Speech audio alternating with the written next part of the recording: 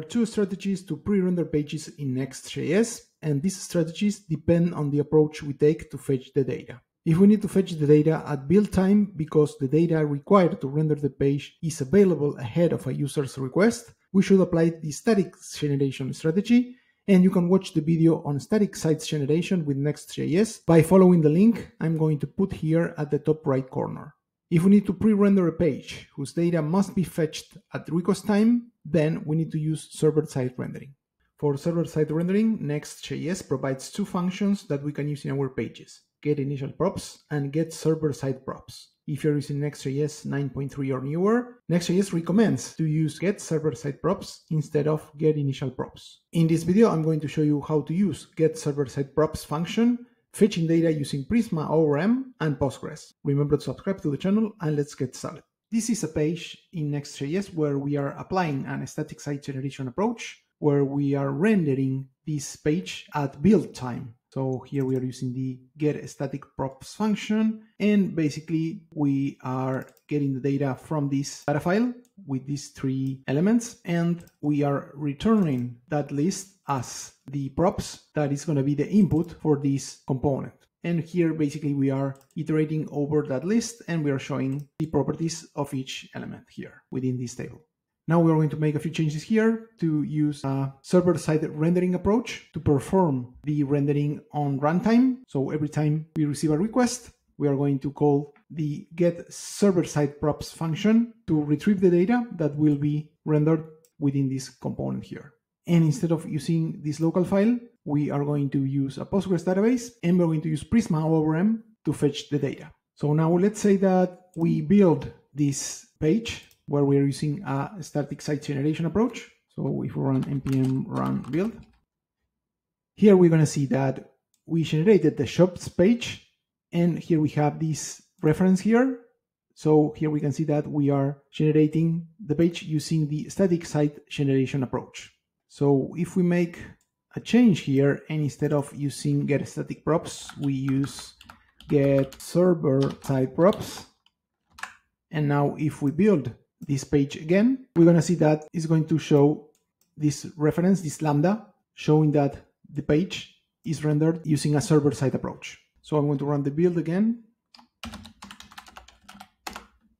And now, as we can see here, the shops page is using a server-side rendering approach.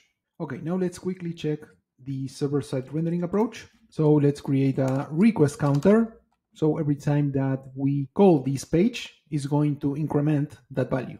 And we're going to add a console log to show that. So this is let request count equals zero.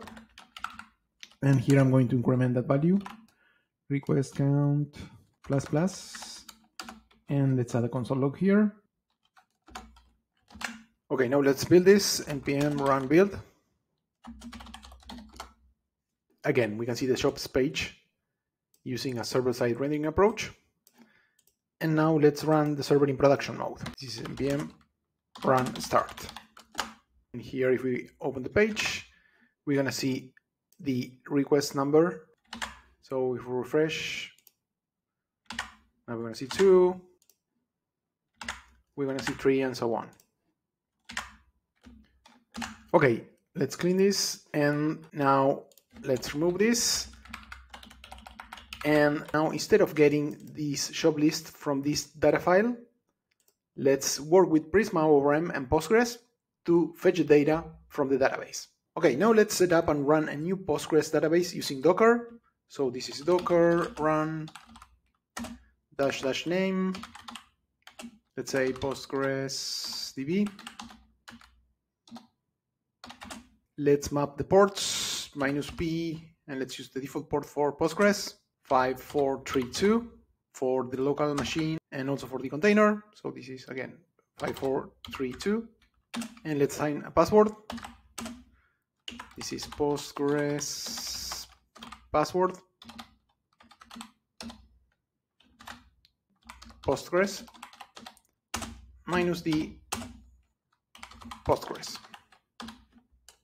Now let's run this. And this is going to pull the Docker image.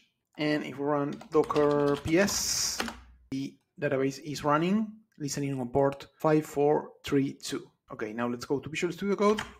And here I already installed this plugin, this PostgreSQL Explorer. And here we can see the database. And we have our public schema with no tables.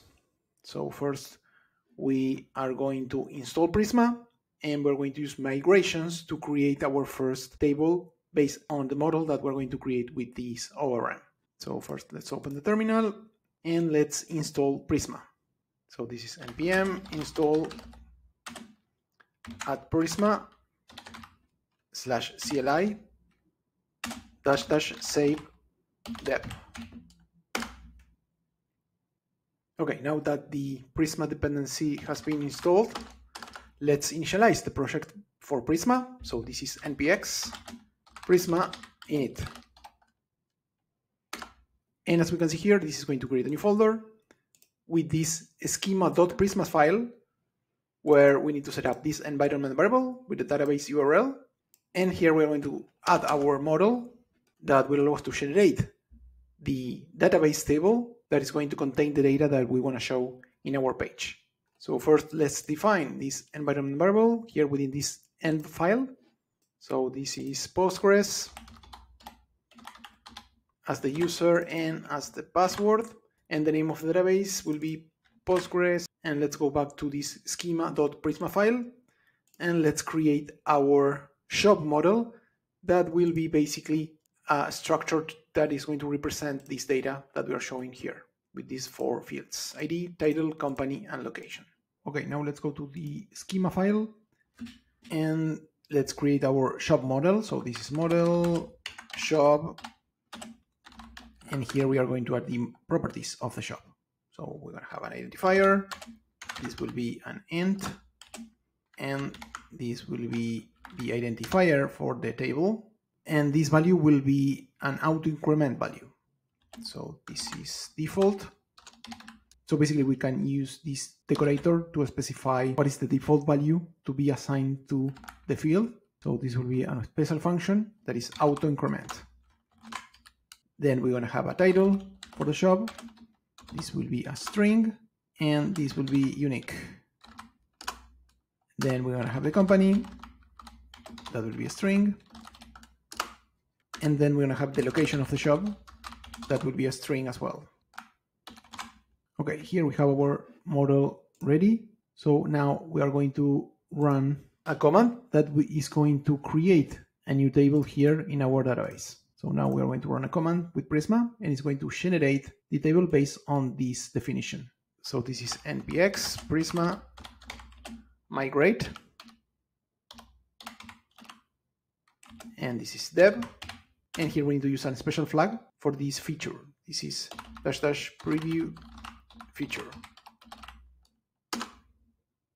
And here we need to assign a name for the migration because it's going to store the DDL sentences, basically the SQL sentences to create the table within a file with the name that we're going to assign here. So this is initial migration. And as we can see here, it's going to generate a folder with that name. And this is the file where we're gonna see the SQL with the DDL to create the table. And another thing that it's going to do here is going to generate the Prisma client so that we can use this client to access the database. Another way to generate this Prisma client is running npx prisma generate. So now if we refresh this database connection, we're to see that we have the shop table with no values. As you can see here is empty. And here we're to have another table with the changes that we applied in the database. This allows us to keep track on the versioning of the schema. Okay, now let's close everything here. And there is a tool that comes with Prisma, that is Prisma Studio, where we can edit the fields of the table. So this is npx Prisma Studio. This is a web tool that we're going to see in a second. And here we can see all our models. In our case, we only have one model, that is the shop model that's entered there. And here we're going to have the records from the database. So I'm going to click on add record. I'm going to give the identifier with the auto increment value. and I'm going to set a title for a new shop. I'm going to grab the values from the file that we have here. So let's copy this. Senior backend engineer. The company will be Google and the location will be remote. Let's save this change. Okay, and I'm going to add the rest of the shops really quickly. Okay, and here we have the same values that we have within this file. Okay, so now let's go to our page and let's work with the Prisma ORM to fetch the data. So I'm going to remove this import from here. We're not going to use the data file anymore. I'm going to remove this. And first we need to import the Prisma client. So this is import. This is Prisma client from, and this is add Prisma slash client, like this. Okay, and here I'm going to create a new client, const Prisma equals to new Prisma client. And here I'm going to get the list of shops from the database. So this is const all shops and this is prisma dot shop dot find many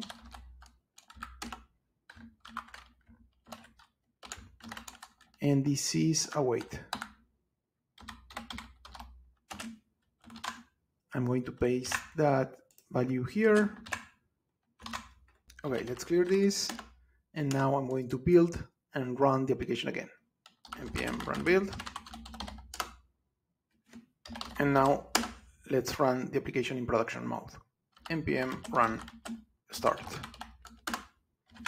Okay, and now if we refresh the page, we're gonna see the list of shops that we get from the database. Okay, let's open Prisma Studio again, npx Prisma Studio, and let's make a few changes so that we can validate that we are actually getting data from the database. So I'm going to open new terminal here, and let's run the application.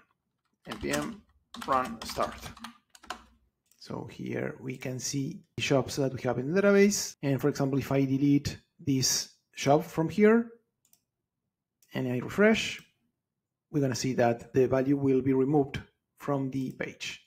And the same if I delete the second record. And now if I refresh the page, we're going to see that we only have the shop that is within the database here.